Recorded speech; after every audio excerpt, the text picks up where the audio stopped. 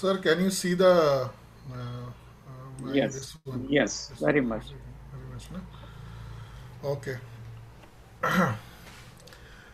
uh, so today actually this uh, हम्म, मैंने सोचा थोड़ा हटके कुछ करते हैं और uh, ये टॉपिक uh, बहुत पहले मुझे मतलब जो when I was in college and maybe before college I was very interested in this topic and i maybe uh, one of the reason of coming to psychology is that my fascination for why some people are different why they are different how they think and the best part of i think मेरा ये जो journey started with when I was in fifth standard तो मैं Sherlock Holmes के serial आया करते थे हमारे वो कोई ब्रिटिश सीरियल आया करते थे and I to watch all of them and हमारे जितने भी दोस्त थे क्लास में वो सब लोग हम लोग डिस्कस किया करते थे शर्लक होम्स के बारे में and everybody had his dream that we would one day you know become some sort of a detective.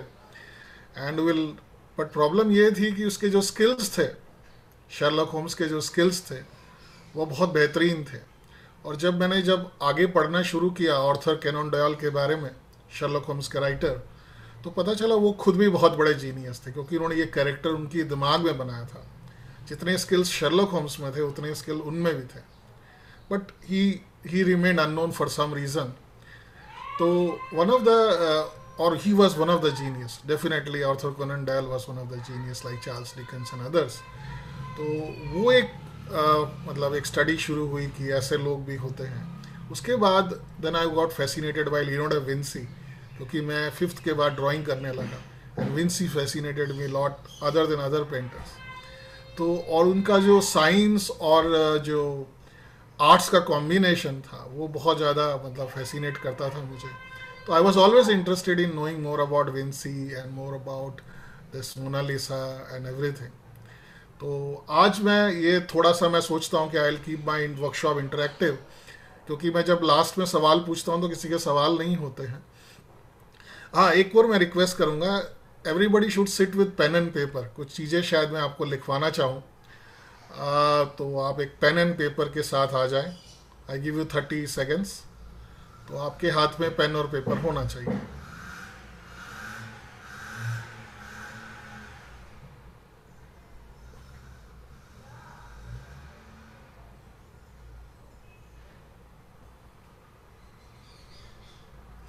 Okay तो लेट अस स्टार्ट तो you can unmute yourself if you want to say something and uh, because you can ask question i would definitely ask the first question कि आप जब इस workshop में आए हैं या टाइटल आपने सुना कि unlock the genius within what thought comes in your mind just share few thoughts so that I will know कि whether we are on the same page और नॉट सर मेरे दिमाग में एक बात आ रही है कि ब्रेन्स के अंदर हिडन पोटेंशियल है या पोटेंशियल डेवलप होता है? It gets develop because of the neurons तले बढ़ गए सर हाँ जी I am sorry sir can i can i continue sir हाँ बिल्कुल बिल्कुल uh, yes sir jhalak vanka this side sir actually uh, when i saw the title the thing came into mind uh, my mind was this soliloquy or this self introspection what we call it Hmm. so uh, i really thought that you are the right person to get some information about it okay Anybody else would like to share something about genius word से उनके दिमाग में क्या मतलब thought आता है क्या विचार आता है समथिंग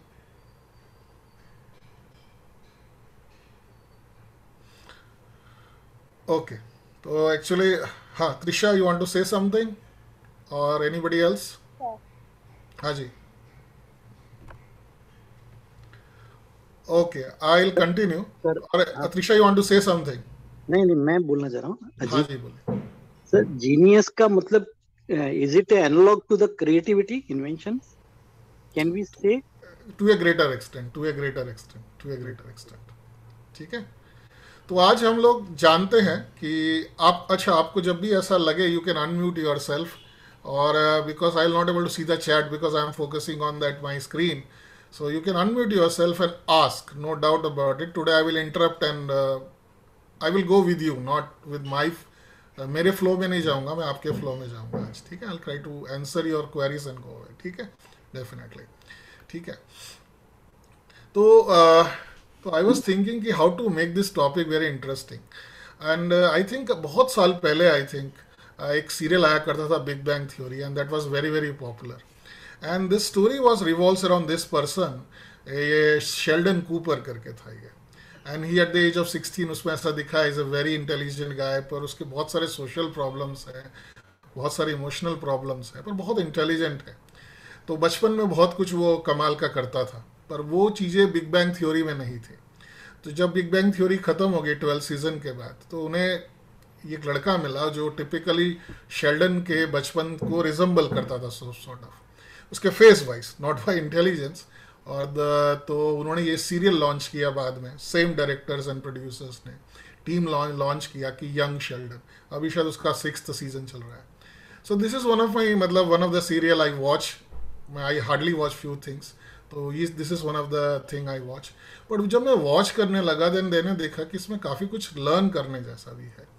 क्योंकि ये पहला सीरियल है जिसमें नरेट किया जाता है कि जीनियस सोचता कैसे है? जीनियस की जीनियस के माइंड में क्या चल रहा होता है? जीनियस सोचता कैसा है? देखता कैसा है? बोलता कैसा है? बट ये सीरियल टिपिकल जीनियस बने के बारे में नहीं है। ये एक टिपिकल एक लड़के की कहानी है। बट इसमें से काफ़ी कुछ सीखने जैसी है। कुछ पॉजिटिव्स हैं, कुछ नेगेटिव्स भी हैं। ठीक है? तो I will try to explain every मतलब वो जो भी मैं उदाहरण दूँगा, वो यंग शेल्डन से जुड़े होंगे, ताकि आप उन्हें समझ सकें। ठीक है? तो हमने एक बात बहुत सुनी होगी, हमने ये बात बहुत सुनी है कि हम हार्डली अपना दस परसेंट ऑफ़ ब्रेन यूज़ करते हैं। और हमारा कहते हैं कि हम अपना ninety percent of the brain हम यूज़ नहीं कर पाते हैं। तो साइकोलॉजी वाले ऐसा कहते हैं कि ऐसा होता नहीं है, क्योंकि ब्रेन ज़्यादातर sixty to seventy percent utilize तो हो ही जाता है। क्योंकि हमारी जो बॉडी की इतनी सारी एक्टिविटीज़ हैं, हमारे शरीर के अंदर 150 ट्रिलियन सेल्स हैं। 150 ट्रिलियन सेल्स हैं। It's not a simple joke और हर सेल अपने आप में इंटेलिजेंस है। तो उसका कोऑर्डिनेशन कहीं ना कहीं ब्रेन से होता है। आपका पूरा शरीर, जो आप बॉडी देख रहे हैं, ये डेढ़, तेरह महीने में पूरा शरीर चेंज हो जाता है। आपकी जो आई बॉल्स हैं, ये हर तेरह, बारह, तेरह महीने में नए आई बॉल्स पैदा होते हैं। किडनी नई पैदा होती है। आपका लीवर अलग होता है। तो आप वो नहीं हो जो एक साल पहले थे। पूरे शरीर का एक एक अणु या या फिर कहें सेल्स ये सब बदल चुके हैं। तो इतना सारा एक्टिविटी ब्रेन करता है। तो डेफिनेटली इसका मतलब ये होगा कि सिक्सटी टू सेवेंटी परसेंट वो यूटिलाइज होता है। बट ये है कि जो हमारी जो क्षमता है, हमारा जो ये ऊपर वाला पार्ट है, जिसे हम फ्री फ्रंटल कॉटेक्स कहते हैं, जो हमारी सोचने की शक्ति बढ़ाता है, या जिसमें सोचने की शक्ति होती है। तो एक सवाल ये है कि क्या पोटेंशियल डेवलप होता है, या कुछ लोग पता नहीं बाई बर्थ डेवलप होके आते हैं। तो साइंस में ये दुविधा है कि कुछ लोग शायद डेवलप होके भी आते हैं। कुछ लोगों का ब्रेन का यूज़ करने का तरीका एकदम अलग होता है। तो अब जीनियस को हम डेवलप कर सकते हैं सर्टन एक्सटेंट तक। तो ज़्यादातर जीनियस बाई बर्थ पैदा हुए हैं। उनकी सोचने की क्षमता अलग थी। और कुछ बच्चे गिफ्टेड होते हैं, कहते हैं, उनमें क्षमता होती है। तो पर ऐसे स्कूल्स अभी पॉसिबल हैं जहाँ पे इन बच्चों को नर्चर किया जाता है। तो हमारा ये काम बनता है कि we can learn from everybody brain में कैपेसिटी है टू लर्न हम किसी से भी लर्न कर सकते हैं। तो ये एक अच्छी बात है तो जो जीनियस होते हैं, उन, वो कैसे सोचते हैं? तो उनके कुछ सात तरीकों पे आज हम डिस्कस करेंगे। स्पेशली लियोनार्डो विंसी पे फोकस करके हम करेंगे। एक एक पर्सन को हम रोल मॉडल आज लेके चलेंगे। जीनियस का सबसे जो तरीका होता है, जो सबसे बड़ा जो उनका तरीका है या जो उनकी सोच है they think productively and look at the problem from a different side वो वैसे नहीं देखते हैं जैसे कि लोग देखते हैं। जैसे आप बहुत पहले जब जब एरोप्लेन लॉन्च हुआ था तो लोगों ने कहा कि ऐसा हो नहीं सकता, इंसान कभी उड़ नहीं सकता। आज तक इतिहास में कभी भी कोई इंसान उड़ा नहीं है। तो लोग इस आइडिया को भी मानने को रेडी नहीं थे कि ऐसा कभी हो सकेगा, कि उड़ा, उड़ सकेंगे। और जो राइट ब्रदर्स हैं, उन्होंने कभी प्लेन नहीं बनाया था। वो लोग साइक साइकिल की शॉप थी उनकी। और उनकी डिज़ाइन भी आप देखोगे, काफ़ी हद तक वो उससे मैच करती थी। उन्होंने सोचा कि शायद संभव है ऐसा करना। So they think productively and look at problems from different जहाँ लोग कहते हैं, जहाँ सोच कॉमन लोग सोचते हैं कि नहीं नहीं, ऐसा नहीं हो सकता। वहाँ इनकी सोच शुरू हो जाती है। वहाँ से ये शुरुआत करते हैं। So one of the way is to you know to develop this skill is to things, look things from a different angle. तो ये एक बहुत बड़ा वो है। दूसरा है कि they are they make combinations मतलब वो कंबाइन कर उनके दिमाग में ना इतने सारे थॉट्स चलते रहते हैं। और ये लोग कंबाइन करते रहते हैं पुरानी चीज़ों को नई चीज़ों से बड़ी चीज़ों को छोटी चीज़ों से। ये पूरे यूनिवर्स को कनेक्ट करने की कोशिश करते हैं। जैसे आप देखें तो आ, कहते हैं कि जो आइंस्टाइन थे वो मैथमेटिशियन थे। उनका काम मैथमेटिक्स का था। पर उन लोग उन्होंने फिजिक्स की सबसे बड़ी पहेली सॉल्व कर डाली। तो कहने का मतलब है कि उनकी जो कनेक्टिविटी थी वो कनेक्ट कनेक्ट हो जाते थे फिजिक्स से भी। फिजिक्स से भी कनेक्ट हो जाना मैथ्स को कनेक्ट कर देना डिफरेंट सब्जेक्ट्स को कनेक्ट कनेक्ट करना, ये जीनियस की सबसे बड़ी वो है। और आज हम जिस एरा में जी रहे हैं, वो एक्चुअली जीनियस का एरा है। यदि आप science physics chemistry maths drawing painting किसी को भी कंबाइन कर सकते हो तो आप बहुत जीनियस हो। मैं एक लड़के को मिला हूँ जो मेरे हिसाब से काफ़ी हद तक जीनियस से काफ़ी सिम्टम्स थे, उसके ब्राइट में। फिर उसने ब्राइट छोड़ दिया, उसके पेरेंट्स ने कहा कि बेटा तुम्हें तो इंजीनियर बनना है तो उसको ए स्टैंडर्ड से एक टिपिकल स्कूल में डाल दिया गया आंध्र प्रदेश में। ट्वेल्थ तक तो वो गया, पर वो आई नहीं क्लियर कर पाया, क्योंकि उसका दिमाग उससे भी ज़्यादा चलता था। तो उस एग्ज़ाम्स के लिए वो फिट नहीं था। फिर वो बाद में उसने पढ़ाई छोड़ दी इंजीनियरिंग के आधी बार मेरे पास आया। फिर वो देखते ही मुझे पहचान गया कि वो मैं मतलब ब्राइट में काउंसिलर था तो उसने मुझे कहा कि मुझे क्या करना चाहिए? तो मैंने पूछा, आपका इंटरेस्ट क्या है? बोले, मैं इकोनॉमिक्स और साइकोलॉजी को कंबाइन करना चाहता हूँ। तो मैंने उसने मैंने उसको कुछ एग्जाम्पल्स पूछे। तो मैंने उसके फादर को कहा कि ये लड़का बहुत आगे जाएगा। ये जो सोच रहा है दुनिया में, मैंने किसी को नहीं सोचते देखा। और उसने फिर कोई एग्ज़ाम दी गवर्नमेंट ऑफ़ इंडिया की, जहाँ पे ऐसे कोई कॉलेज है इकोनॉमिक्स का या कुछ। तो वो एक ही राउंड में टॉप करके निकल गया। उसके पेरेंट्स दुखी थे कि भाई इंजीनियरिंग छोड़ के ऐसा कर रहा है। मैंने कहा इंजीनियरिंग से फार बेटर जाएगा, क्योंकि is enable to combine two sciences economics and psychology amazing तो उसकी फ्यूचर में बहुत डिमांड होने वाली है इस बंदे की। सो दे सी कनेक्शंस उसके बाद they form relationship between different subject जैसे मैंने कहा ना कि इकोनॉमिक्स और साइकोलॉजी इकोनॉमिक्स और ये. तो ये कनेक्ट करने की उनकी एबिलिटी बहुत अच्छी होती है। और ज़्यादातर मैंने देखा जो इंटेलिजेंट लोग होते हैं they are good with arts also arts और साइंस में कोई डिफरेंस नहीं है। भले लोगों को लगता है कि साइंस वाले आर्ट्स नहीं कर सकते, ऐसा नहीं है। उनकी ब्रेन में कनेक्टिविटी होती है। जैसा हम जान हम लोग आगे देखेंगे क्यों होती है ऐसी कनेक्टिविटी जो जीनियस की स्टडी की शुरुआत हुई तो सबसे बड़ा नाम उभर के आया गलीलियो का। गलीलियो का आईक्यू कुछ 190 के आसपास आता है। आइंस्टाइन का 140 है तो इनका 190 के आसपास है। उस जमाने में इमेजिन करना कि मतलब स्टार्स को वो जो थ्योरी सालों से प्रचलित थी पास्ट में इतनी गहरी से इसने कहा कि नहीं।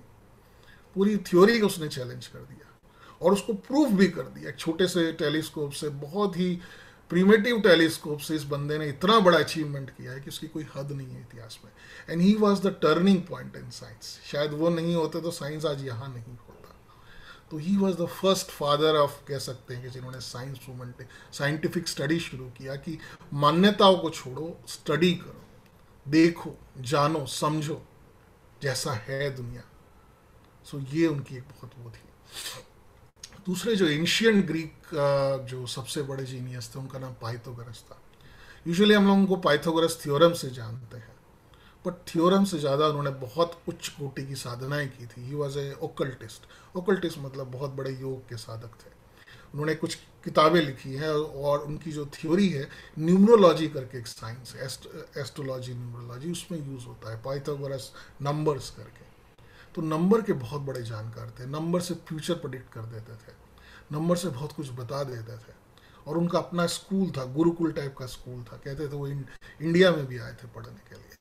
पर थोड़े ज़िद्दी किस्म के आदमी थे। उनकी अपनी मान्यताएँ थी, फिर वो उनको चेंज नहीं करना चाहते थे। But he was also genius कभी कभी जीनियस कभी कभी अपनी बातों पे अड़ जाते हैं।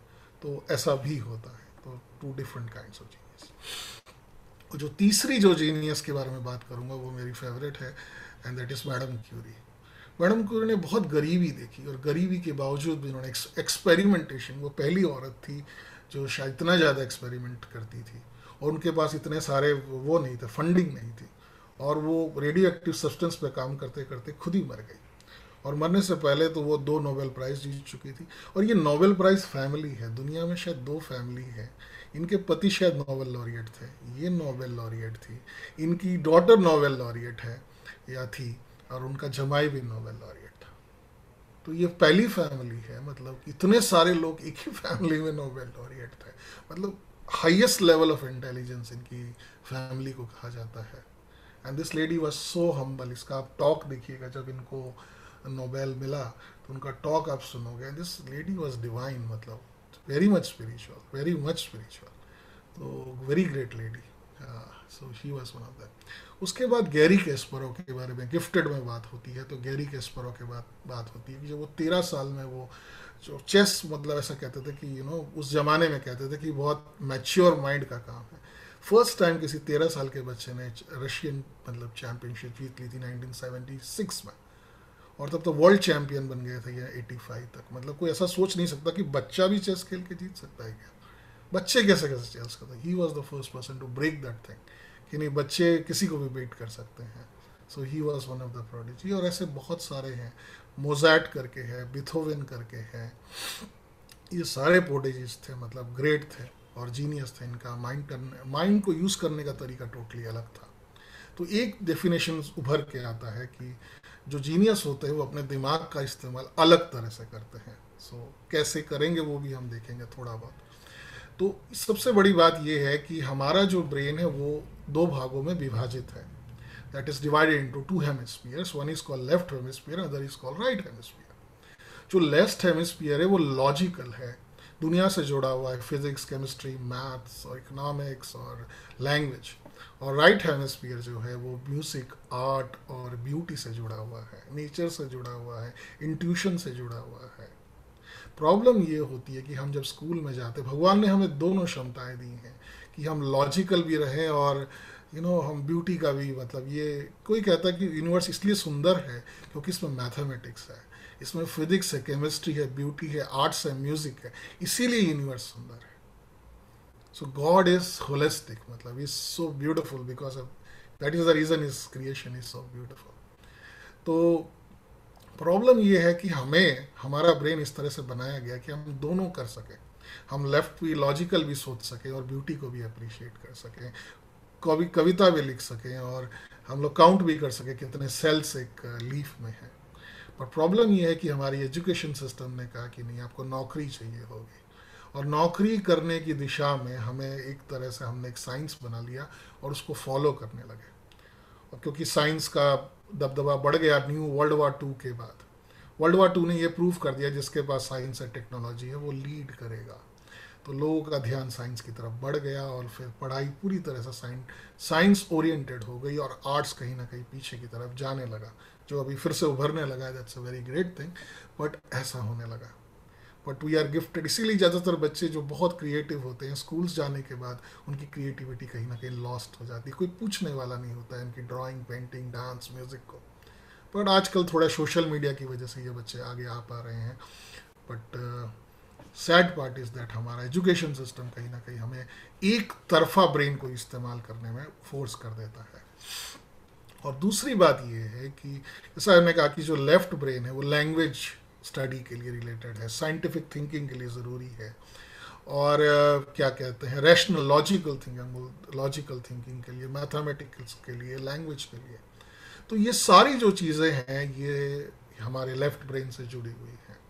और ये ज़्यादातर हमारी पूरी लाइफ 25 साल हमारे पढ़ाई में इसी में चले जाते हैं। We are either learning language science maths S और कहीं ना कहीं ये जो हमारा दूसरा ब्रेन है जहाँ पर विजुअलाइजेशन है आर्ट्स है इमेजिनेशन है इंसाइट एक अचानक इंट्यूशन आना, ये कहीं ना कहीं छूटता चला जाता है हमारा। तो ये एक दुविधा है कि हमारा जो एजुकेशन सिस्टम है, कहीं ना कहीं जीनियस पैदा प्रोड्यूस नहीं कर रहा है। हमारी जो एजुकेशन सिस्टम है, बहुत लोगों ने कहा है कि जीनियस को किल कर देता है और एक मीडियो कर आदमी पैदा करता है जो लॉजिकल है। और उसकी एक ही लाइफ में जीवन में वो है कि मुझे सर्वाइव करना है। मुझे अच्छा बिज़नेस करना है, पैसे कमाना है, नाम कमाना है, मुझे सेटल होना है, यही मेरी ज़िंदगी है। पर जो उससे बड़ा जो मकसद शायद क्रिएटर ने दिया होगा, जब ब्रेन बनाया होगा, इंसानों का ब्रेन तो उसको लगा होगा कुछ बहुत ग्रेट करेगा ये बंदा। पर कहीं ना कहीं हम उसे चूकते चले जा रहे हैं, उस उस दिशा से हम पीछे चले जा रहे हैं। That is what is human dilemma that is what it is तो आज हम जिसका डिस्कशन करने जा रहे हैं, वो है क्योंकि हमें किसी के बारे में तो बात करनी पड़ेगी। तो आज हम बात करेंगे लियोनार्डो विंसी की। अब विंसी की बात इसलिए कर रहे हैं कि जो राइट जो रेटिंग है, वर्ल्ड रेटिंग है जीनियस में तो रेटिंग शायद विंसी की शायद फ़र्स्ट ये फ़र्स्ट एक दो तीन के अंदर है। काफ़ी लोग उसे फ़र्स्ट मानते हैं और काफ़ी लोग उसे थर्ड मानते हैं। तो सबसे ज़्यादा जीनियस की जब रेटिंग होती है, टॉप टेन जीनियस की तो उसमें ये है। और ये सबसे ज़्यादा प्रचलित है। क्योंकि इनकी जो किताबें हमें मिली नोटबुक्स मिली, उससे हमें अंदाज़ा मिला कि ये कैसे सोचते थे। इसके बारे में हमें ज़्यादा एविडेंस मिला। और बेसिकली ही call renaissance man renaissance man का मतलब होता है जिसमें मल्टीपल टैलेंट हो, जिसके अंदर, और ये टर्म इन्हीं के लिए बनाया गया। कहते हैं कि रिनेसेंस मैन कोई शब्द नहीं था। रिनेसेंस मैन मतलब एक जीनियस आदमी जो सब कुछ कर सकता था। और ये ऐसे थे, ये म्यूजिशियन से म्यूज़िक बजाया ये कुछ बजाया करते थे उस वक्त। साइंटिस्ट थे इन्वेंटर थे फिलोसोफर थे नोट्स लेते थे और कुछ चीज़ ऐसी नहीं थी और ये फिजिकली भी फिट थे। आपको ऐसा लगेगा कि जीनियस आदमी इतना सोचता होगा वो शायद एक आ, मतलब कुछ काम नहीं कर पाता। He was a very strong well built man और ये हुआ रिनेसेंस का मतलब क्या हुआ? रिनेसेंस एक फ़ेज़ आया जब आदमी रिलीजियन से मुक्त होकर साइंस की एरा में घुसा। उसका उसका एक रीज़न है, मैं आगे जाके डिस्कस करूँगा कि ऐसा क्यों हुआ और विंसी क्यों उस लाइम लाइट में आ गए। ठीक है? तो ये हुआ क्या कि something like fourteen thirteen fourteen century में एक प्लेग फैला था। काफ़ी लोग उसमें मारे गए थे, लाखों लोग मारे गए थे और ये प्लेग काफ़ी दिनों तक रहा मतलब काफ़ी अलग अलग जगहों पे फैलता रहा। तो पर जब इन सभी ने ये बात की कि ये समथिंग बायोलॉजिकल है या समथिंग एयरबॉर्न है या समथिंग उस ज़माने में जो भी थ्योरीज रही होंगी पर वो कंट्रोल नहीं कर पा रहे थे sir.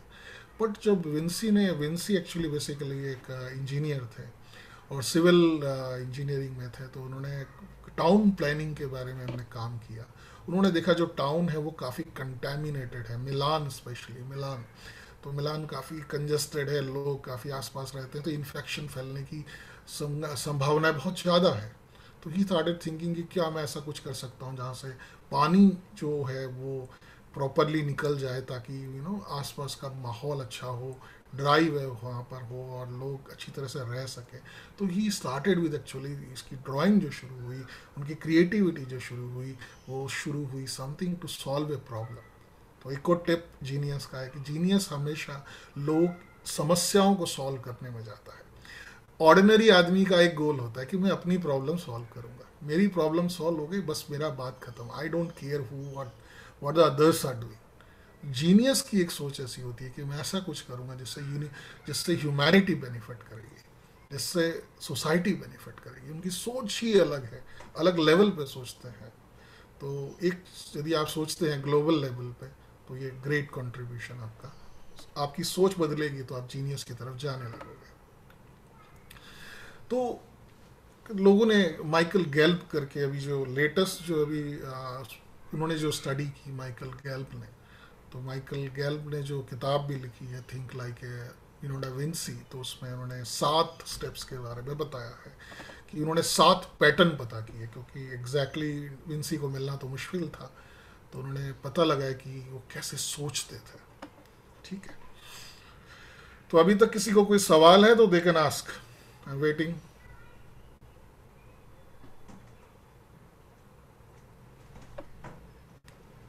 So I'll I had seen I had seen the Mona Lisa picture hmm. in original at France. Okay, मुझे कुछ उसमें कुछ खास ऐसा खास ऐसा विशेषता लगी नहीं पर hmm. अब आप जो बता रहे हो कि ही वाज मल्टी टैलेंटेड हो सकता है उसकी वजह से उसको ज़्यादा अप्रिसिएशन मिला हो उसको कहा तो ये जाता था कि उसकी आँखें ऐसी बनाई थी कि कहीं भी डायरेक्शन से एंगल से आप देख रहे हो तो ऐसा लगता था कि वो आपको देख रही है। But I seen the original मुझे ऑर्डिनरी इससे तो अच्छी अच्छी पिक्चर और भी देखी होगी, लेकिन पता नहीं क्यों वहाँ पे उसको बहुत ज़्यादा इम्पोर्टेंस दी गई थी। थैंक यू ओके तो इनके बारे में सात मतलब इनकी जो सोच को उन्होंने सेवन स्टेप्स में डिवाइड किया, या सात चीज़ें हम उनके बारे में जान सकते हैं जीनियस के बारे में।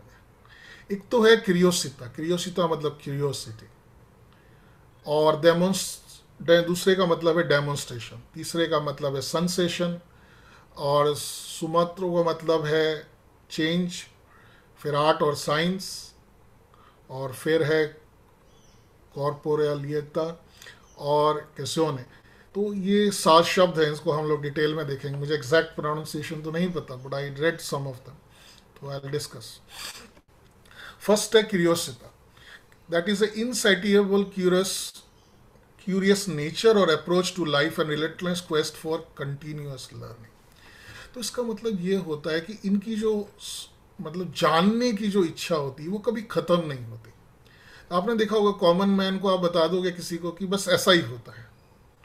तो आप देखो जैसा मैं कभी भी क्विज खेलता था कभी बच्चों के साथ तो बच्चे would say after five minutes कि, सर, आप आंसर बता दो आप। मैं नहीं, आप आंसर को डिस्कवर करो ना। नहीं नहीं सर आप आंसर बता दो ना। तो ये सबसे बड़ी व्यथा है जीवन की कि the common man is always looking for made readymade answers वो अपने ढूंढते नहीं हैं। और जो जीनियस है उनका एक, इसीलिए वो अलग है क्योंकि वो ढूँढने में विश्वास करते हैं। मुझे कुछ बच्चे ऐसे होते थे कि तीन चार दिन के बाद वो आके मुझे कहते थे मेरे रूम पे आके जब मैं काउंसिलर था ब्राइट में, कि सर वो आपने वो जो प्रॉब्लम थी ना, उसका मैंने दो सॉल्यूशन निकाल दिया। उसने रात को घर जाके सोचा, अपने ब्रदर से पूछा। So that is the sign of मतलब दिस थिंग तो क्या आपको कुछ और ये लोग अपने दुनिया से सवाल पूछते रहते हैं। दो दो लोगों का उदाहरण मैं यहाँ पे दूँगा कि सभी कहते हैं कि एप्पल गिरता था, पर एप्पल के बारे में इतनी गहराई से किसी ने नहीं सोचा। लोग एप्पल गिरता था, लोग खाते थे, दुनिया चलती थी, क्या फ़र्क पड़ता किसको? बट और जो जो न्यूटन का आईक्यू है, न्यूटन फ़र्स्ट टॉप थ्री में आता है। आइंस्टाइन से ज़्यादा आईक्यू में है वो। तो कहते हैं कि उस जमाने का जो सबसे एडवांस साइंटिस्ट था तो ही वॉज़ दैट सो वो इतना डीपली इसमें इन्वॉल्व हो गए थे कि इस एप्पल के बारे में उन्होंने थ्री लॉस उसमें से निकाल दिए थे, एक ही एक ही कॉन्सेप्ट में से। तो इतने सारे वो सवाल पूछते तो पहली चीज़ ये है कि इनकी क्यूरोसिटी होती है कि ऐसा क्यों होता है। और दूसरा, दूसरे जो जीनियस को देखे, वो अलग तरह के जीनियस थे। वो एक ग्रेट साइंटिस्ट बुद्धा, जिन्हें मैं ग्रेट साइंटिस्ट मानता हूँ, दुनिया भी मानती है हमें, कि उन्होंने ये सवाल पूछे कि सब क्या क्या मृत्यु सबकी होने वाली है? क्या दुख सभी के साथ रहने वाला है? तो उसके कुछ सवाल के उसके उसके कोई आंसर तो होंगे। तो उन्होंने अपना पूरा घर छोड़ दिया छः साल, आठ साल तपस्या की।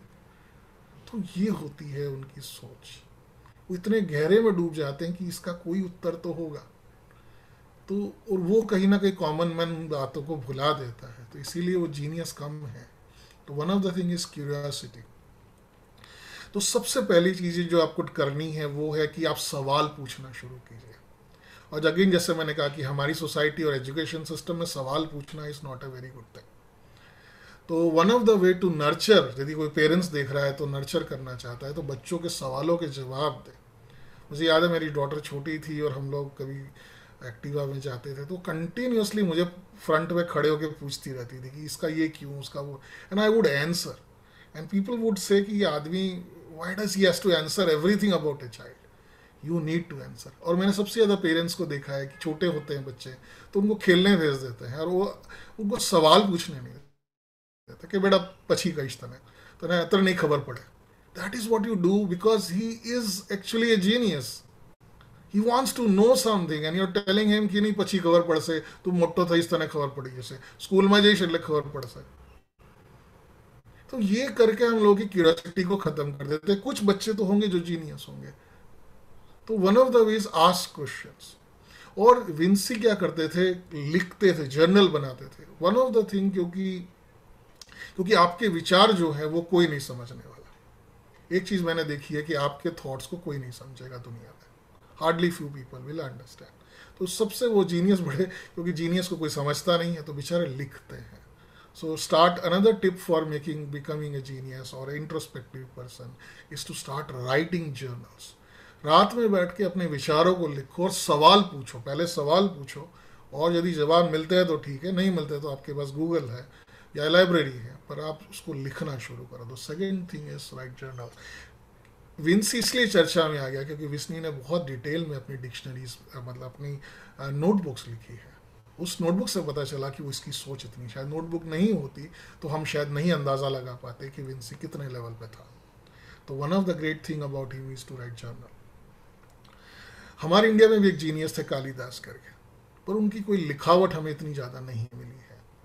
तो उसकी वजह से क्या हुआ है कि उनकी जीनियस कहीं ना कहीं कहते हैं कि इतिया मतलब उनकी जीनियस रजिस्टर नहीं हुई है हमारे पास। हम उनकी बातें करते हैं पर ज़्यादा कुछ जानते नहीं हैं।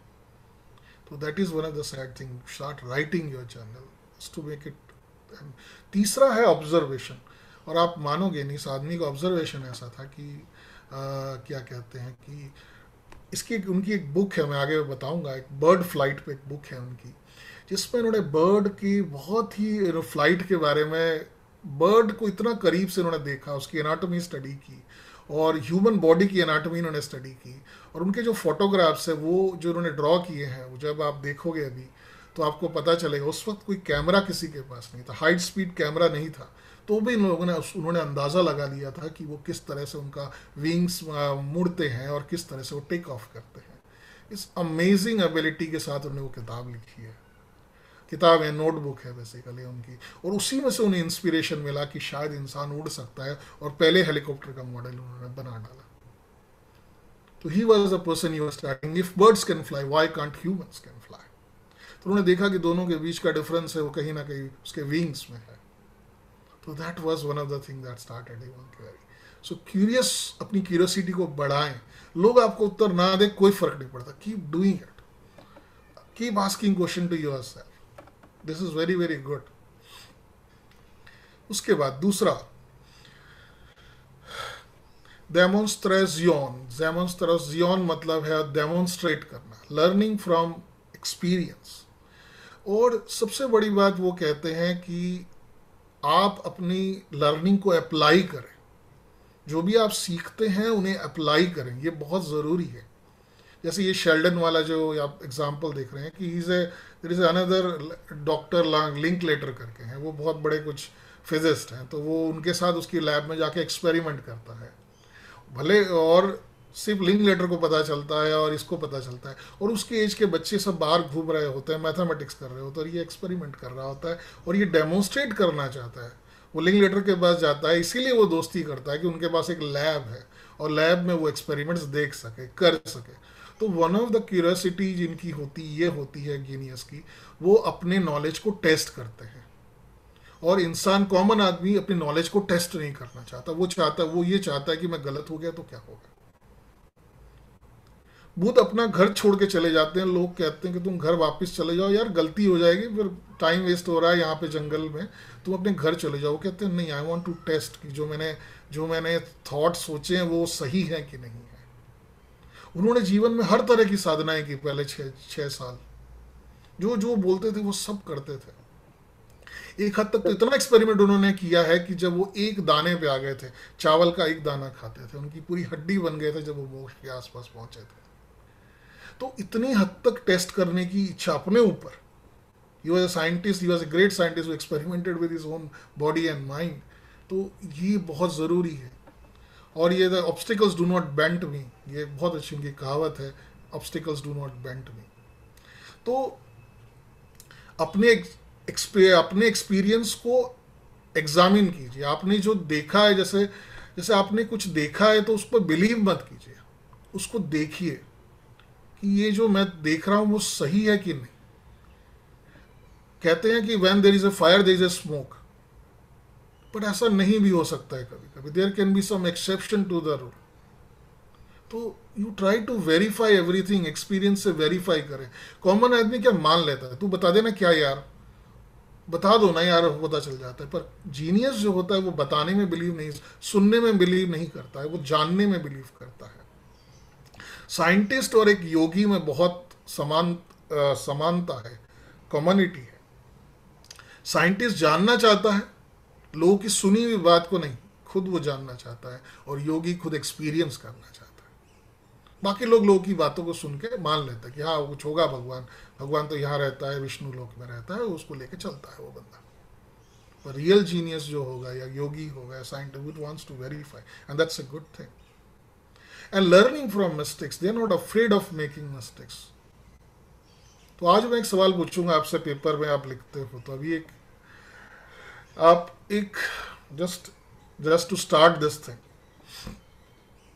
and three points of view three points of view का मतलब मैं समझाता हूँ पहले को।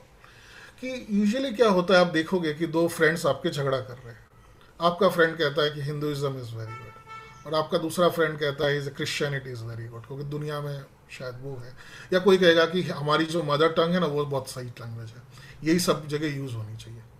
कोई कहेगा, नहीं भैया इंग्लिश चलती है पूरी दुनिया में तो इंग्लिश यूज़ होनी चाहिए. तो can you come up with a third view and Google came up with third view जब गूगल ये लोग कर रहे थे सर्च मशीन तो उसमें कंट्रोवर्सी ये आ रही थी कि लोग अपने लैंग्वेज में, काफ़ी लैंग्वेज वाले जो चाइनीज़ थे और बाकी जो कंट्रीज़ वाले थे, वो फ्रीक्वेंटली इंग्लिश वर्ड नहीं समझ पाते थे। फिर उन्होंने एक नया वो तरह से सोचना शुरू किया कि इस तरह से ऑप्शन दे, कि इंग्लिश भी रहे उनकी मदर टंग भी रहे और धीरे धीरे दोनों में, दोनों का इस्तेमाल वो कर सके। They came up with third option फिर उन they came up with another option if you speak it will get printed इस तरह से whatever you see Google that Google lens whatever you see it will extract that information and tell you what you are see तो ये third point of view है। Genius का एक वो होता है कि वो इस तरह से सोचता है दो आदमी के ऊपर हट के सोचने के लिए। तीसरा व्यू तीसरी दृष्टि। जैसे हमारे उसमें है कि Shiva is having the third eye Shiva is symbol of a very high level of genius तो थर्ड आई का मतलब ये होता है, जो पास्ट और फ्यूचर के सिवा भी और कुछ देख सकता है। या पास्ट या प्रेजेंट के सिवा फ्यूचर को देख सकता है, जो भी आप कहें। जो अलग डायमेंशन को देख सकता है, अलग चीज़ों को परख सकता है। सो व्यू इज़ जीनियस जो होते हैं वो थर्ड एंगल से देखते हैं। वो ये नहीं सोचते I should be right all the time not all the time कुछ होते हैं। बट हमेशा अपने आप को कॉमन आदमी क्या यही सोचता है कि I have to be right मुझे राइट right होना है। मुझे मुझे सुमित को लगता है कि I must no I I must be right and Ajit Ajit Ajit sir should be wrong Ajit sir को लगेगा कि भाई भाई, मेरी बात सही है, भले सुमित जी कुछ भी कहते हो। बट जो जीनियस होता है, वो दोनों पक्ष को समझ के वो तीसरा पक्ष ढूँढने की कोशिश करता है। Is the third possibility of seeing the things so this is one of the thing it talks about and learning from adversity and mistakes ये ये लोग क्या है, ये अपने नॉलेज को एक्सपेरिमेंट करने में पीछे नहीं हटते हैं। और कॉमन आदमी ही रुक जाता है, अपने एक्सपेरिमेंट को रुक जाता है और आगे नहीं बढ़ पाता है जीवन में। और इसीलिए एडिसन का एग्ज़ाम्पल दिया जाता है कि उन्होंने इतनी बार सालों लग गए थे। ये जो एक हज़ार एक्सपेरिमेंट करने में उसको दस पंद्रह साल लग गए थे। He kept on doing it जब भी वो फ्री बैठते थे, आधा घंटा वो वो फिलामेंट ढूँढने लग जाते थे। और ऐसा उन्होंने बीस साल किया है। So they are not afraid of failure actually any genius is not afraid of failure क्योंकि उनको टेस्ट करना होता है, ये चलता है या नहीं चलता है। दैट्स इट उन्हें लोगों की नहीं पड़ी होती है कि मुझे राइट होना है, लोगों की नज़र में। उनको ये होता है कि सही क्या है। I want to know the truth not I want to be truthful in the eyes of others लोग मुझे कहें कि मैं बहुत सही हूँ ये नहीं वो लोग चाहते वो ये चाहते हैं कि सही क्या है। That is very very important तीसरी जो उनकी जो खासियत होती है वो है सेंसेस यॉन मतलब है शार्पनिंग ऑफ़ सेंसेस एक चीज़ आप देखना कि यदि कोई, कोई सवाल पूछेगा sir how can I use my more of my brain तो ये गल ये एक स्टेटमेंट एक्चुअली गलत मुझे अब सही नहीं लगता है। करेक्ट स्टेटमेंट है how to use your senses आपका जो ब्रेन है, उसके पास पाँच पाँच फाइबर केबल्स है। वो पाँच फाइबर केबल से आपके दिमाग में इंफॉर्मेशन जाती है। और वो फाइव सेंसेस है आपके। तो जितना डेटा अंदर जाएगा, उतना ज़्यादा प्रोसेसिंग होगा। बट प्रॉब्लम ये है कि हम सेवेंटी परसेंट विजुअल हो गए हैं और ट्वेंटी परसेंट ऑडिटरी हो गए हैं। इसलिए जो देखते हैं, मानते हैं, थोड़ा बहुत सुनते हैं, बाकी सारे सेंसेस डल हो गए हैं। तो दैट इज़ बिगेस्ट प्रॉब्लम और जीनियस का एक क्या होता है कि जीनियस हमेशा अपने सेंसेस को एक्सप्लोर कर रहा होता है।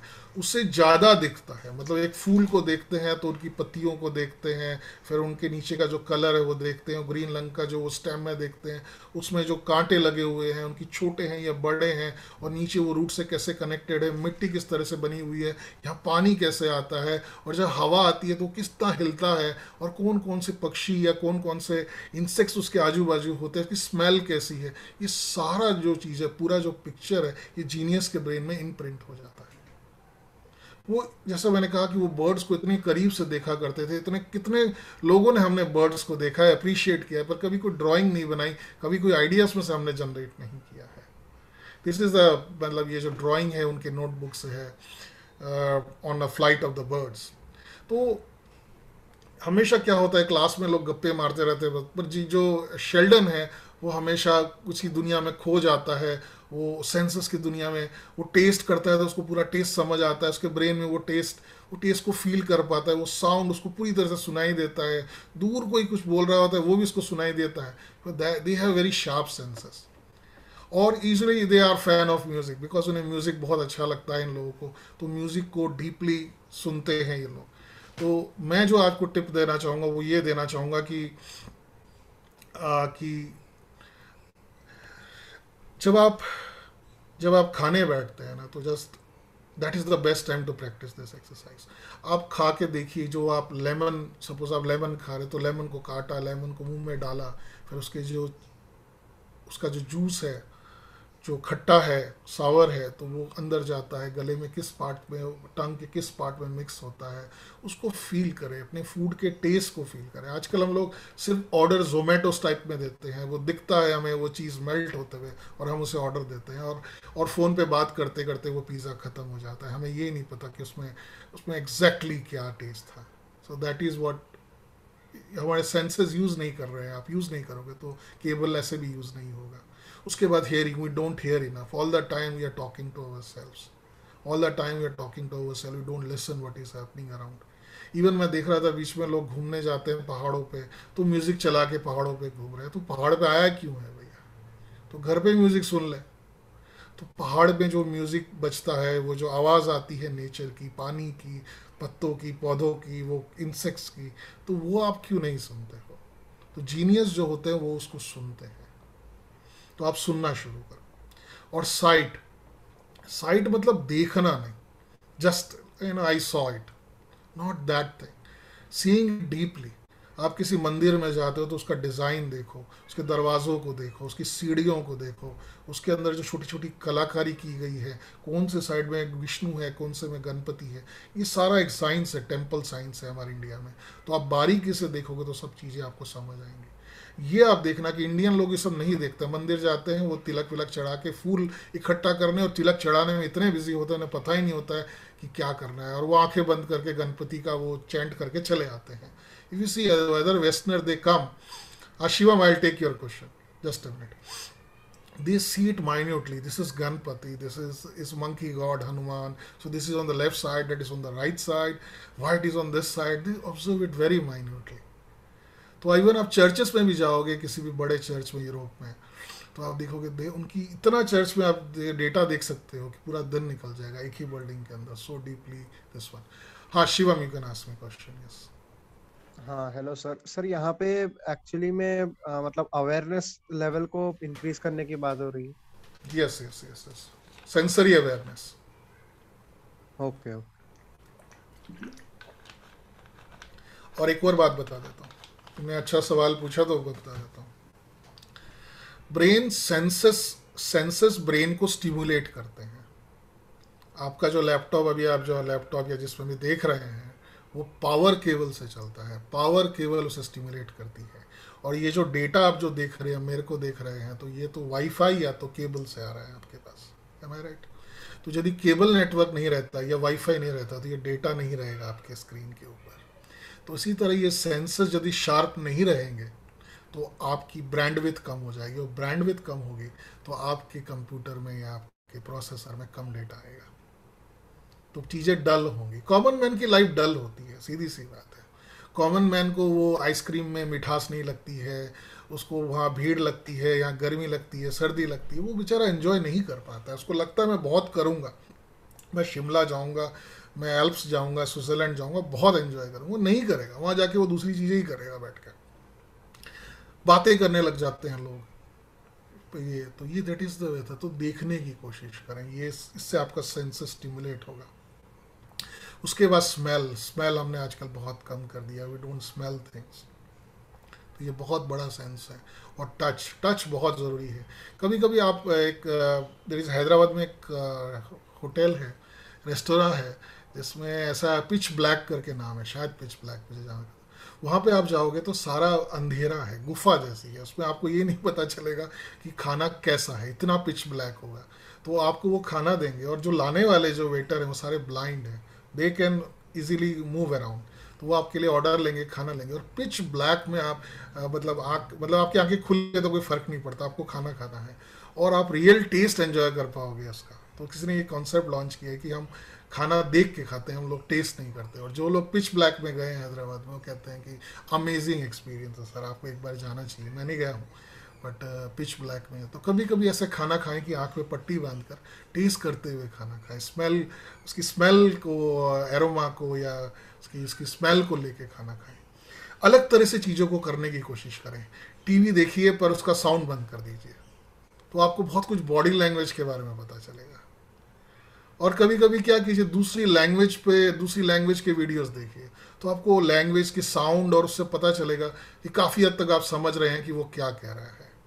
तो इस तरह से डिफरेंट एक्सपेरिमेंट्स कीजिए। म्यूज़िक सुनिए लाइट बंद करके म्यूज़िक सुनिए। तो आपको उसकी गहराई पता चलेगी। उसकी म्यूज़िक बजाते मैं पढ़ता रहता हूँ। सर, मैं ऑटो वाला डोंट बी ऑटो वाला। ऑटो वाले का ध्यान म्यूज़िक पे नहीं रहता। वो अपने ब्रेन को स्टिमुलेट करने के लिए कुछ चला के बैठता है। डोंट डू दैट कुछ लोग तो मुझे ऐसा कहते हैं कि सो सर नींद नहीं आती तो मैं टीवी चला, मैं लैपटॉप में मेरा सीरियल चलता रहता और मैं सो जाती हूँ। मैंने कहा what is this doesn't make sense तो ये एक बहुत अच्छा तरीका है मतलब मतलब वो होने का। उसके बाद, ये बहुत इम्पोर्टेंट है सुमैतो मैनेजिंग एम्बिग्यूटी और चेंज कॉमन आदमी की फितरत है कि दुनिया में कुछ बदलना नहीं चाहिए। जैसा मैं सोचता हूँ, वैसी लाइफ होनी चाहिए। मैं छोटे से बड़ा हो जाऊँगा, फिर मैं अच्छी सी नौकरी करूँगा, फिर मैं पैसे कमाऊँगा, फिर मैं शादी करूँगा, फिर मेरी शादी अच्छी चलेगी, मेरे बच्चे भी अच्छे होंगे, मुझे कभी बीमारी नहीं होगी, मैं सौ साल तक जीऊँगा, भगवान को मैं जो भी बोलूँगा मेरा काम कर देगा। That is what he things but life जो है जिस जिस अर्थ पे हम जी रहे हैं लाइफ जो हम जी रहे हैं, वो एम्बिक्यूटी और चेंज से भरा हुआ है। नई चीज़ें नई नई चीज़ें होती रहती हैं। तो और कॉमन आदमी इनको देखना नहीं चाहता। क्यों कॉमन आदमी इनको देखना नहीं चाहता? वो बोलता है स्ट्रेस बहुत होता है। यार स्ट्रेस कितना लेने का? यार, क्या सब कुछ जान के क्या होगा लाइफ में? यार, मज़ा नहीं आएगा। वो ऐसा सोचता है। तो जीनियस ऐसा नहीं सोचता। जीनियस सोचता है कि there are so many possibilities in the world so many uncertainties in the world ये उसके की, उसका वो बन जाता है की ऑफ़ अनलिशिंग वो जानना शुरू कर देता है। और उनका सबसे बड़ा टैलेंट होता है कि मेक फ्रेंड्स विद एम्बिग्यूटी उन्हें नई चीज़ें अच्छी लगती हैं। जैसे ये शेल्डन है, रात को सपने, वो किस, कोई कोई नासा वासा में जाता है, घर आता है तो वो सोचता है कि वो सपने में देखता है कि वो ऐसा कुछ बन गया है एस्ट्रोनॉट और स्पेस में जा रहा है, हवा में उड़ रहा है। तो ये चीज़ें हमारे बचपन में होती है। We are born genius but we are killed by the whatever it is that that is amazing तो ये चीज़ बनाए रखिए। आपकी जो एम्बिग्यूटी है चेंज को एक्सेप्ट करें। और टेक टाइम फॉर सॉलिट्यूड कभी कभी शांति से बैठें। कॉमन आदमी आप देखना बैठता नहीं है।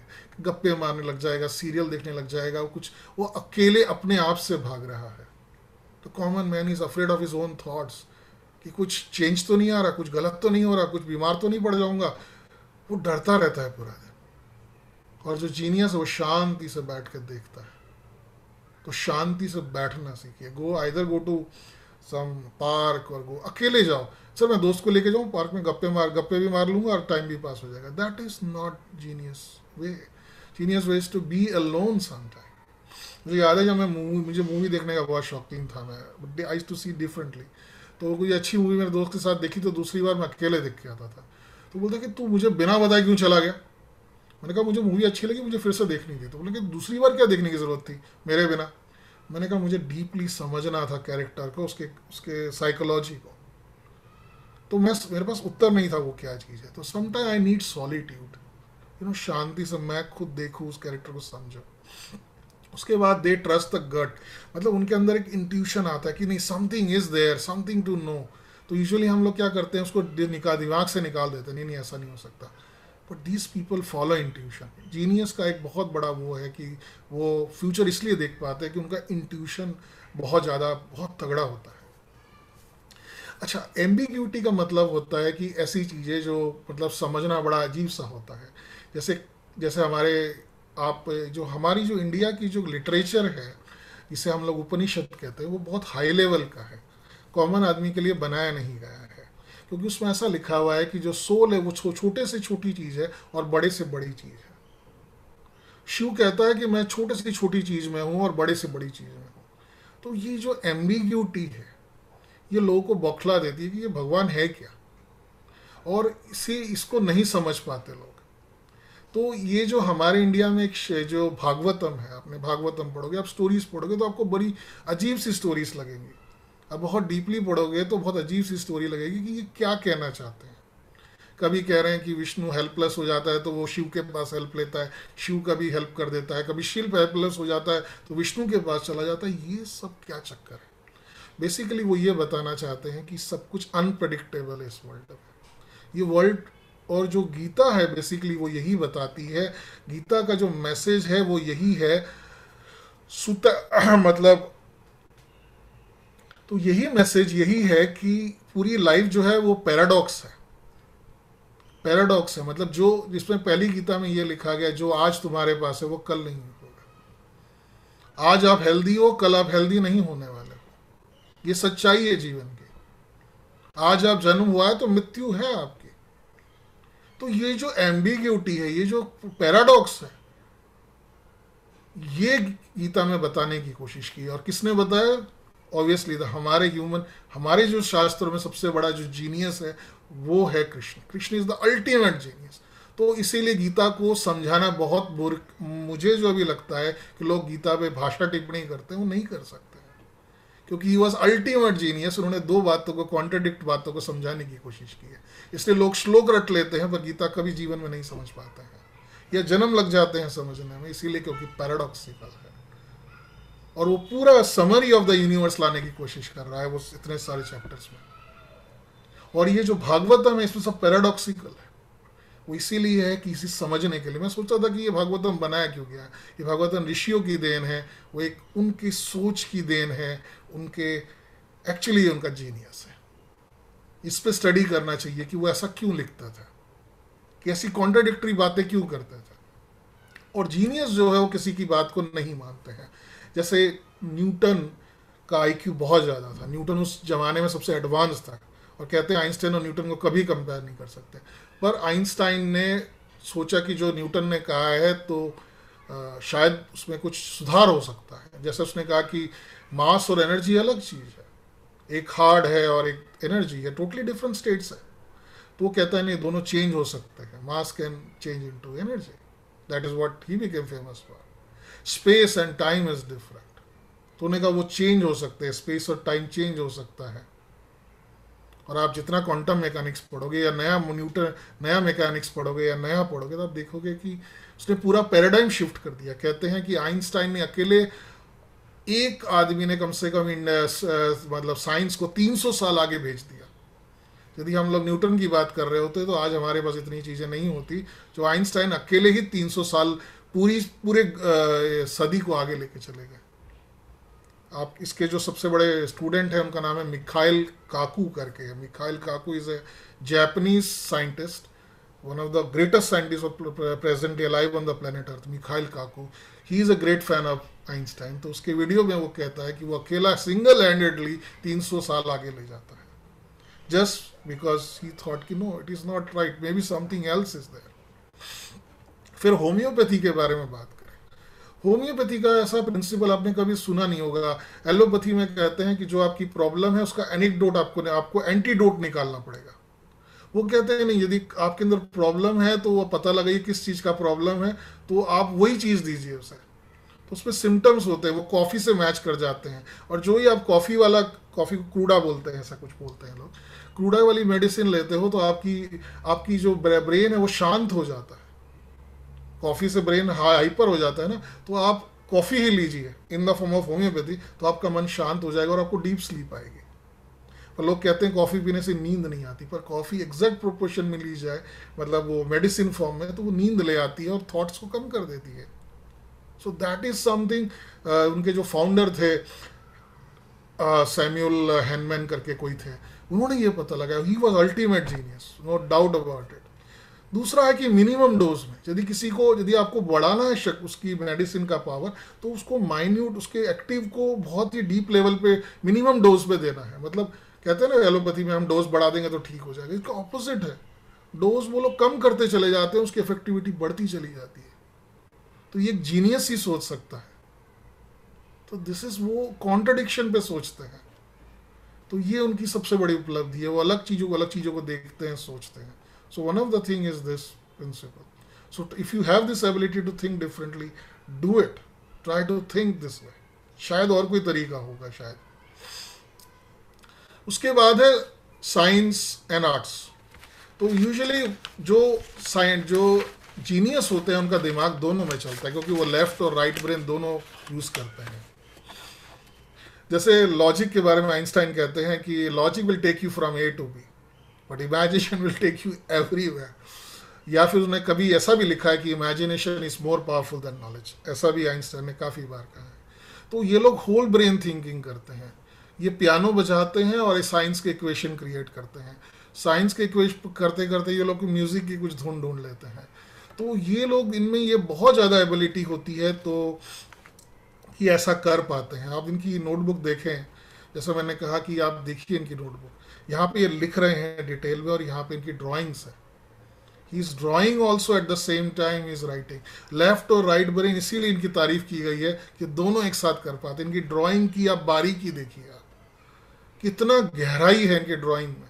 और ये जो किताब है codex on the flight of birds आप देखोगे तो आप चकरा जाओगे कि कितनी डिटेल में उन्होंने बर्ड स्टडी की है। उसके नोट्स बनाए हैं। वो इज़ द फ़र्स्ट मैन जो शायद उड़ने का सपना देखा था इसने पहली बार। उसका मॉडल भी तैयार कर दिया था। ऑलमोस्ट और अभी जो एक नया हेलीकॉप्टर कुछ आ रहा है, जो कुछ उसी के नाम से आएगा कि वो उन्हीं के ऑलमोस्ट उन्हीं के मॉडल को रिजम्बल करेगा, ऐसा कुछ है। तो दैट वॉज़ इज़ जीनियस इसको करे कैसे? एक तरीका मैं आपको यहाँ पे तो नहीं बता सकता, पर हमारे यहाँ वर्कशॉप्स हुए हैं। उसे कहते हैं mind mapping workshops Tony Buzan करके एक ऑथर हैं और बहुत बड़े पाइनियर हैं साइकोलॉजी में। उन्होंने अपनी एक टेक्निक बनाई जो विंसी से काफ़ी इन्फ्लुएंस हुए, उन्होंने टेक्निक बनाई माइंड मैपिंग करके। तो वो अपने आइडियाज़ को लिख, बीच में रखिए, थोड़ी बहुत ड्राइंग कीजिए और लिखते चलिए। तो राइट और लेफ़्ट ब्रेन दोनों आप कंबाइन कर सकोगे। तो ऐसे माइंड मैप्स बनाने की कोशिश कीजिए। तो हाँ किसी को कुछ पूछना है तो पूछ सकता है। Aniket you want to ask something Ankit, Ankit, Ankit, you want to ask something?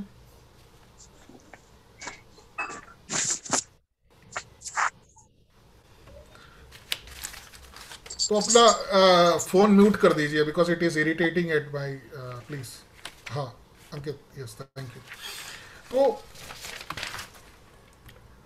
एक मिनट। तो इसकी ये आप देखिए कि ये जो, ये किसी पेंटर ने वो बनाया है माइंड मैप तो कितना बेहतरीन माइंड मैप बनाया है कि उसने art and design imagination as a resource developing creative thoughts applying knowledge तो ये सारी बातों को यूज़ किया है। बहुत सारी चीज़ों को समझाने के लिए यूज़ किया है और एक ही पेज पे किया है। तो टॉनी बुजैन की जो टेक्निक है आप उस बहुत सारे वीडियोस है इस पर और किताबें भी हैं माइंड मैपिंग तो माइंड मैपिंग सीखने से आप अपने दोनों ब्रेन को यूज़ कर पाओगे और ये आपकी ब्रेन प्रोसेसिंग को बहुत फास्ट कर देगा। ये एक तरीका बहुत ग्रेट है जो आप सीखें और इस पर वर्कशॉप्स हो चुके हैं। नहीं है तो फिर वापस कभी करेंगे। तो ये एक बहुत इंपॉर्टेंट तरीका है कि ये दोनों ब्रेन को यूज़ करना सोचते हैं। जैसे बहुत लोग मुझे कहते हैं, सर, मैं इंजीनियर हूँ, मैं ये सब ये सब नहीं मानता। So because you are a common man जो जीनियस होगा, वो होम्योपैथी भी समझेगा, वो साइकोलॉजी भी पढ़ेगा, वो वो क्या कहते हैं लिटरेचर भी पढ़ेगा, वो म्यूज़िक भी सुनेगा मूवीज़ भी देखेगा, क्योंकि उसके लिए everything is just anything which is beautiful और विच इज़ टू नोएबल वो जानना चाहेगा उसे। और दोनों ब्रेन को इस्तेमाल करेगा, वो कभी कभी ड्राइंग करेगा कभी कभी पेंटिंग करेगा। मैं एक साइंटिस्ट से मिला था, मैंने पूछा, ये आपके आइडियाज़ कहाँ से आते हैं? तो उन्होंने कहा कि, सुमित, मैं जब कुकिंग करता हूँ तो ये आइडियाज़ मुझे बहुत आते हैं। कोई लोग कहते हैं कि मैं एक जो जो जापान के सबसे बड़े साइंटिस्ट उनका नाम भूल गया। उनके कुछ पेटेंट है, कुछ ढाई सौ पेटेंट उनके पास है अपने तो इनके नाम भूल गया। वो पानी के अंदर चले जाते हैं, काफ़ी देर स्विम करते हैं और सांस बंद करके बैठते हैं। उनका ऐसा कहना है, इससे मेरे दिमाग में बहुत सारे आइडियाज़ आते हैं। तो genius have a different way of using the mind तो दोनों ब्रेन को इस्तेमाल करें। ऐसा नहीं कि बैठ के ही आप स्टोरी लिख सकते हो। आप कहीं ट्रेन में जाते हुए स्टोरी लिख सकते हो। कहीं पे आप घूमने जा सकते हो मूवी देख सकते हो। तो ऐसे आइडियाज़ कभी भी आ सकते हैं। तो दोनों ब्रेन का इस्तेमाल करना बहुत ज़रूरी है because they use both the brain equally well उसके बाद है फ़िज़िकल फिटनेस फ़िज़िकल फिटनेस पे ये कहते हैं कि cultivation of physical fitness grace ये बहुत ज़रूरी है। तो उसके लिए उन्होंने कहना है कि उनका ये कहना है कि आ, एक चीज़ ये है कि आपको लगेगा कि जैसे मैंने कहा कि विंसी जो थे वो इतने फिजिकली फिट थे ये उनकी अपने बॉडी को ड्रॉ करने का वो बनाया था उन्होंने। उनकी बॉडी इतनी फिट थी कि उन्होंने ये खुद की अपनी बॉडी उन्होंने ड्रॉ की थी और उन्होंने नाटमी खुद की बॉडी की स्टडी की थी वो फिट थे। और एक बात आउट ऑफ़ द बॉक्स बताता हूँ या आउट ऑफ़ द दिस बताता हूँ कि वो काफ़ी स्पिरिचुअल थे।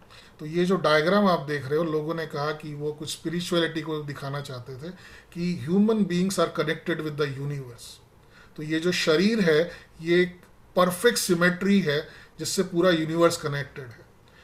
चक्रास के बारे में बात नहीं कर रहे, जो हमारे शास्त्रों में लिखा हुआ है। योग साइकोलॉजी की बात वो कर रहे थे कि शरीर exactly copy of the human this universe और universe and human beings are connected with something तो वो इस श्लोक की बात कर रहे थे। पूर्ण मदा पूर्ण विदम पूर्ण मुच्यते पूर्ण शे पूर्ण मेवा पूर्ण वश्यते so everything is full this is also full and this fullness comes from fullness through this fullness comes the fullness and the fullness remains forever full इसका मतलब ये है कि हम जहाँ से आते हैं। I take up that question इसी का ऑडियो प्लीज़ uh, तो ये जो है, ये एक्चुअली श्लोक वो उस चीज़ को कहना चाहते थे, क्योंकि मैंने एक डीपली किसी न्यूमरोलॉजी की बुक में पढ़ा था कि ये डायग्राम सिंपल डायग्राम नहीं था। ये उनके लाइफ का बहुत हाई लेवल पे जाके उन्होंने ये सोचा था कि वी कम फ्रॉम ए ब्रह्मांड जो पूरी तरह से फुल है everything is there and when we come out of it we are also full और जब हम उसमें वापस चले जाएँगे thing will again be full तो ये एक मतलब humans are actually genius we are all born genius connected with genius but only thing we don't recognize our genius. So that is what the whole thing means. तो इसके बारे में इन्होंने कुछ टिप्स दिए हैं कि कैसे कल्टीवेट करें। तो अपने बॉडी को पहले स्ट्रांग बनाए। जीनियस का मतलब ये नहीं है कि आप अपने बॉडी को नेग्लेक्ट करें, आपकी दाढ़ी बड़ी हुई है, बाल ऐसे हैं, कभी जिम में नहीं गए, ऐसा nothing to do that you can start walking you can start jogging you can start doing making your body fit and the best way is to is yoga yoga. Is one of the best way to balance your body mind and endocrine glands तो वो एक best तरीका है जो body को fit condition में रखता है। प्राणायाम से अपनी ब्रेन की कैपेसिटी बढ़ा सकते हो। और इंडिया में तो कहते हैं प्राणायाम से आप सिद्धि प्राप्त कर सकते हो। मतलब you can awaken your latent abilities also so one of the best way to increase your physical fitness and body awareness and flexibility is yoga और एक चीज़ वो कहता है जगलिंग करना।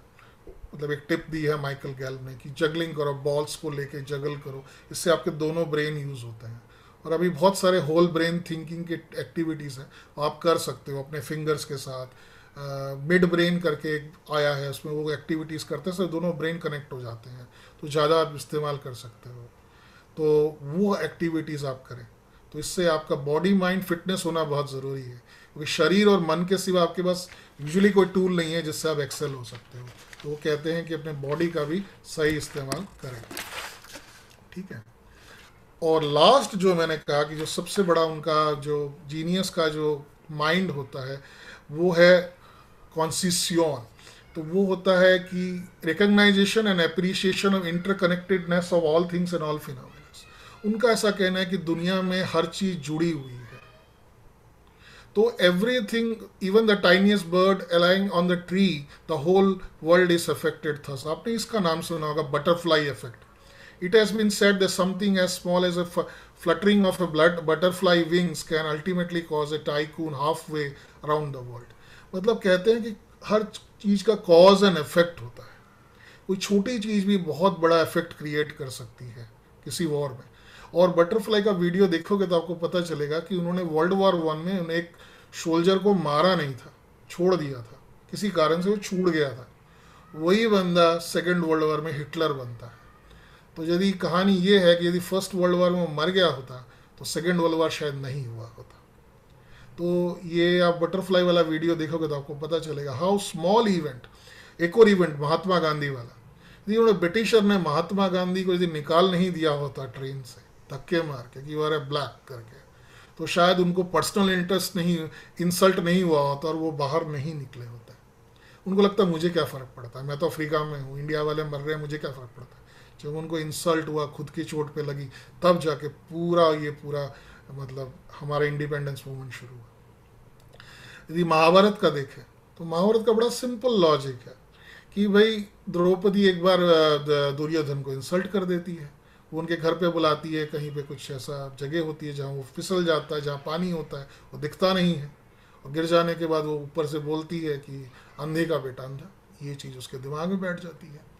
फिर उसके दिमाग में नफरत पैदा हो जाती है। फिर उसकी इतनी नफरत पैदा हो जाती है कि वो आ, मतलब पूरा महाभारत उसकी वजह से हो जाता है। तो आप देखें कि बहुत बड़ी जो घटना होती है वो छोटी चीज़ से कनेक्ट हो सकती है। बट कॉमन आदमी को ये बात समझ नहीं आती। कॉमन आदमी सोचता है कि नहीं ऐसा नहीं हो सकता। ऐसे कैसे हो सकता है? पर ये जो जीनियस होते हैं they are able to see the connection तो महाभारत और रामायण में से बहुत संदर्भ आपको मिलेंगे। Specially Ved Vyas is a ultimate genius there is no comparison of Ved Vyas तो वेद व्यास इस छोटी छोटी कनेक्टिविटी को रामायण और सॉरी महाभारत में बहुत अच्छी तरह से कनेक्ट करते हैं। So will get lot of this connecting points over there तो ये कनेक्टेडनेस देख सकते हो। और रूमी, जो आपको पता है कि ट्वेल्थ सेंचुरी के बहुत बड़े सूफी पोएट थे उन्होंने कहा था you are not a drop in the ocean but you are the entire ocean in the drop हमारे शास्त्रों में कहा है कि जो हमारे अंदर है, जो यूनिवर्स में है, वो मेरे अंदर है, और मेरे अंदर में जो वो है, जो यूनिवर्स में है। तो I am just like God but God because I am his creation so I am just like him so that is हमारा शास्त्र कहता है। तो ये बात रूमी कहता है, यही बात बटरफ्लाई कहती है, और यही बात जीनियस कहना चाहते हैं कि दे सी कनेक्टिविटीनेस आपको पता होगा कि जो आइंस्टाइन की जो लास्ट थ्योरी जो प्रूव नहीं कर पाए वो थ्योरी थी जर्नल थ्योरी थी कि आ, क्या बोलते हैं उसका एक अच्छा सा नाम है मैं बोल रहा हूँ कि वो पूरे सारी थ्योरीज मतलब जो आज तक की जितनी भी थ्योरीज है फिजिक्स केमिस्ट्री की वो सबको एक थ्योरी में लाना चाहते थे।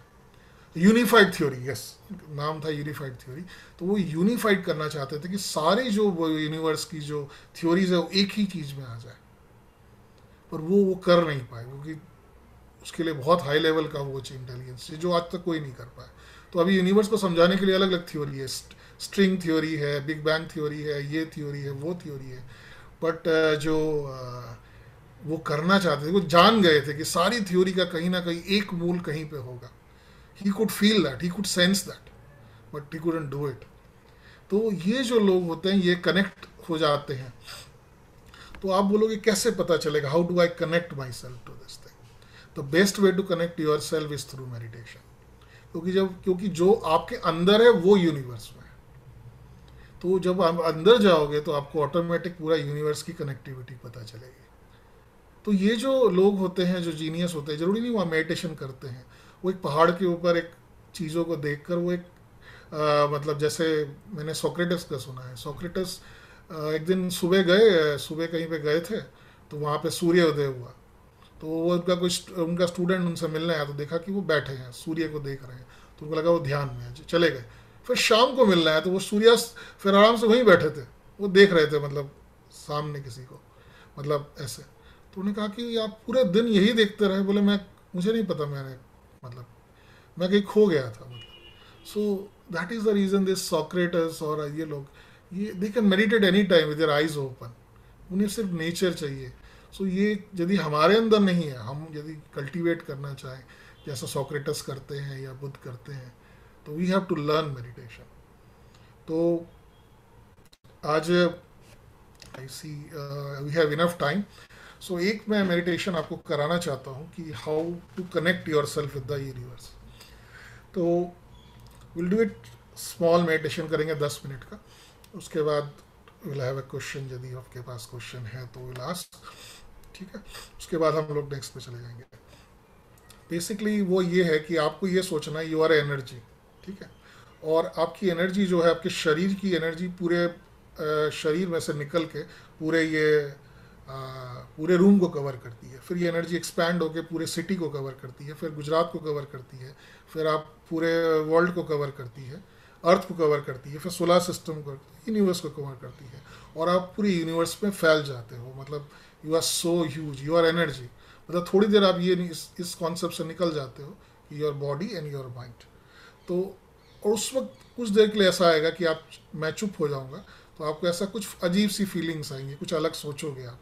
या फिर आपको पीसफुलनेस महसूस होगा, या फिर कुछ थॉट होगा तो आपको थोड़ा अच्छा लगेगा। तो ये ग्लिम्स है ये कभी कभी ये जीनियस लोग कुछ क्षणों के लिए या कुछ घंटों के लिए, कुछ मिनट के लिए इस लेवल पे ऑटोमेटिक चले जाते हैं, जब उनको पूरा यूनिवर्स कनेक्ट हो जाता है। ठीक है?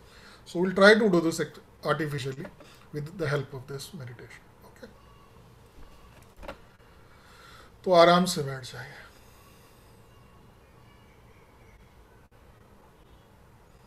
और अपने शरीर को ढीला छोड़ दीजिए। और अपनी आँखों की पलकों को बंद कर दीजिए।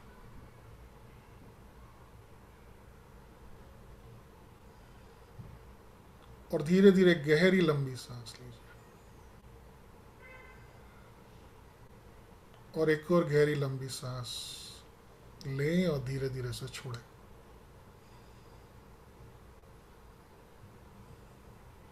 Take one more deep breath. और सांस को छोड़ें। अब सांसों को नॉर्मल हो जाने दें। मन को शांत हो जाने दें।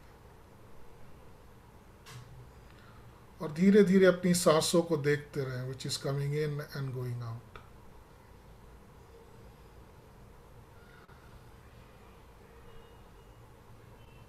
सांस धीरे धीरे अंदर आ रही है। और जा रही है। आ रही है और जा रही है। और ये अपने आप हो रहा है। इसे आप महसूस कर रहे हो फील कर रहे हो।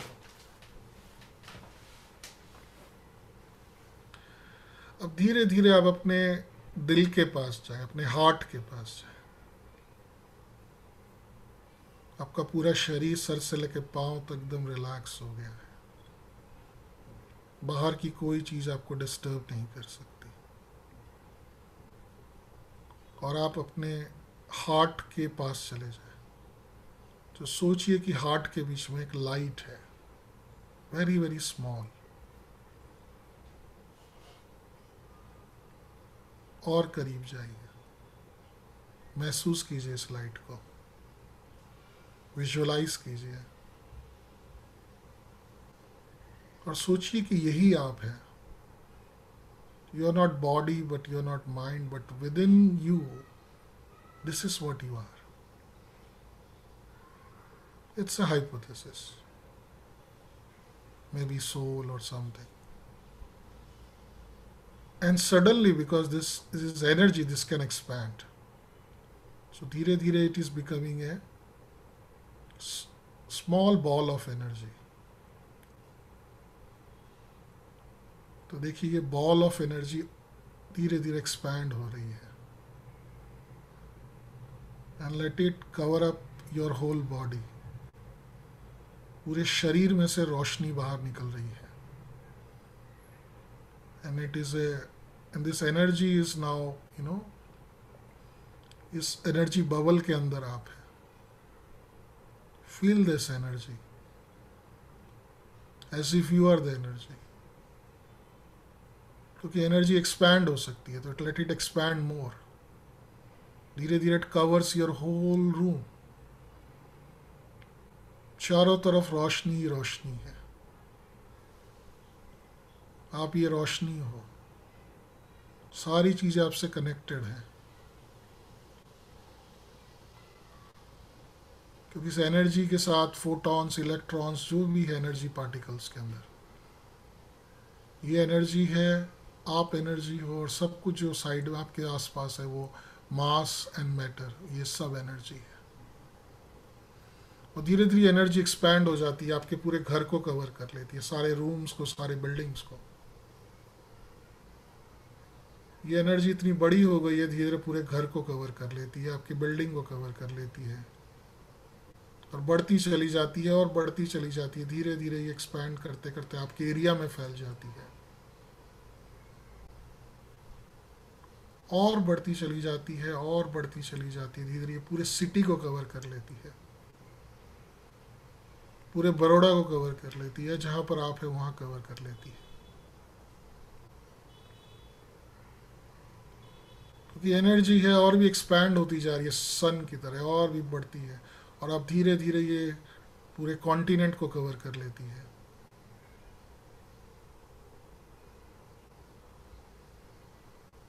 और एनर्जी और एक्सपैंड हो जाती है it is expanding more and more now it becomes the whole earth this whole earth is nothing but energy it is your energy which is vibrating everywhere. You and earth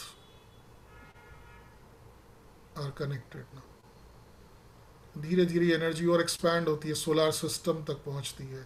धीरे धीरे सारे planets cover होने लग जाते हैं। Mercury Venus Jupiter Saturn Pluto Uranus sun moon everything this energy expands more and more more and more deeper and deeper expanding now it is expanding so much that it is spreading in our milky way and this universe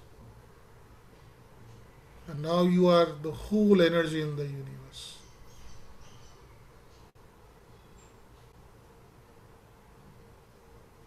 You are the universe, you are the cosmos.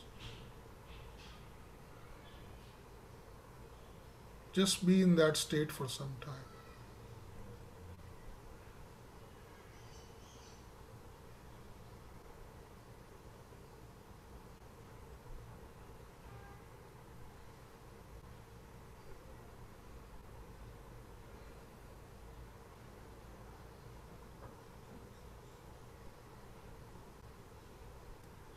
And everything is connected to you. The whole universe all the stars all the asteroids everything is connected to you.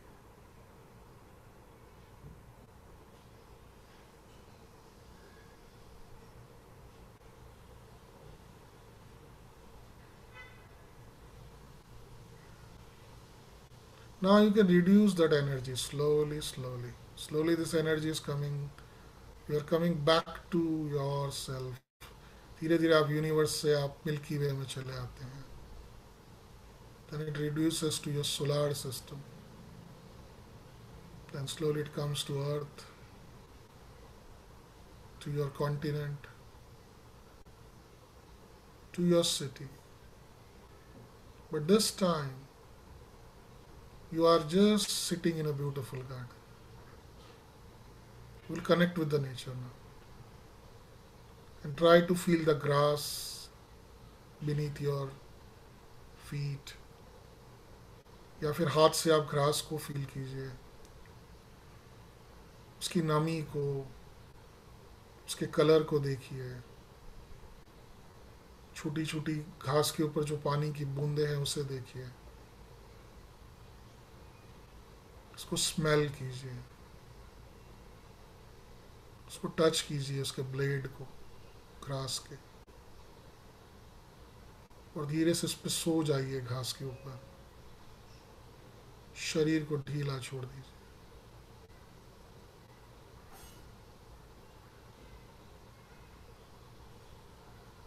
चिड़ियों की आवाज़ सुनाई दे रही है आपको। तो चिड़िया की आवाज़ सुनिए। शरीर के ऊपर थोड़ी धूप गिर रही है तो धूप की जो गर्माहट है वार्मथ ऑफ़ द सन और सनराइज से उसे महसूस कीजिए।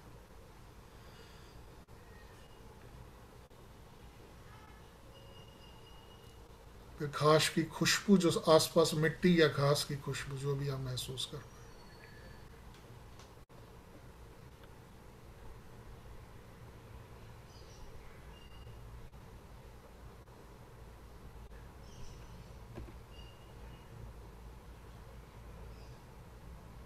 आपके गले में क्या हो रहा है? गले में जो सलाइवा है वो कहाँ पर है?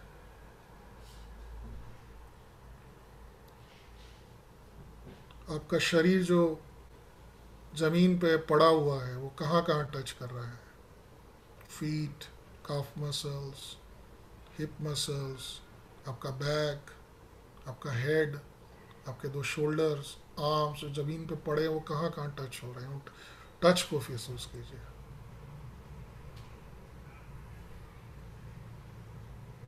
कोई आवाज़ सुनाई दे रही है तो उसे सुने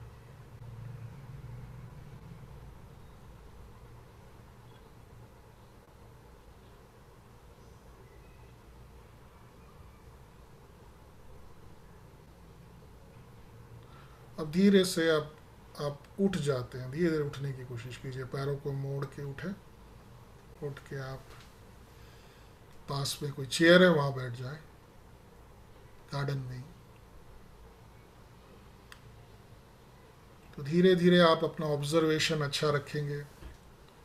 So to become genius is to ask question don't open your eyes till I tell you so ask question observe more that is the first thing use your five senses all the time more of Sai senses try to trust your knowledge जो भी knowledge है उसको test करें, सही है या गलत, उसको जाने। फिर कोई भी अनसर्टनिटी है जैसे मैं आपको यूनिवर्स में ले गया, आपको लगा ऐसे कैसे हो सकता है? ऐसा हो सकता है। तो ऐसा सोचें। एम्बिग्यूटी उसके बाद अपने दोनों ब्रेन को इस्तेमाल करें। राइट एंड लेफ़्ट और अपने बॉडी बॉडी को फिट रखें और मेडिटेट करें। और धीरे धीरे आप जो कनेक्टेड हो यूनिवर्स क्योंकि आपके अंदर जो ज्ञान है, वो यूनिवर्स का ही ज्ञान है। तो जो यूनिवर्स में सारा ज्ञान है, वो आपके अंदर है।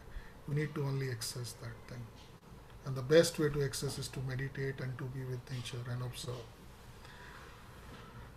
So I will count 1, 2, 3. When I say 3, you will open your eyes. You will be wide awake, alert, feeling refreshed in your body and mind. 1. Waves of energy and alertness flowing throughout your body.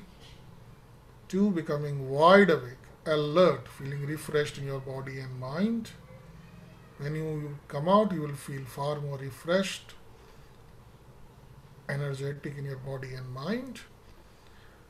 And three, slowly open your eyes, wide awake, alert, feeling refreshed in your body and mind. Take some deep breaths and you are perfectly fine. तो धीरे धीरे आप अपनी आँखें खोल सकते हैं will take up questions धीरे धीरे and before that I show the life large slide तो यदि आप मेरा नंबर नहीं है या मेरा नाम है Sumit Ghoshal and this is my phone number this is my email ID हमने एक वेबसाइट है मेरी रीडिंग लाइफ डॉट इन करके तो उसमें भी आप that is we are just launching it in a way तो ये इस, ये डिटेल ले लीजिए then I will stop that presentation and then we will have a live talking to each other so hope you have taken this slide and I will stop the presentation.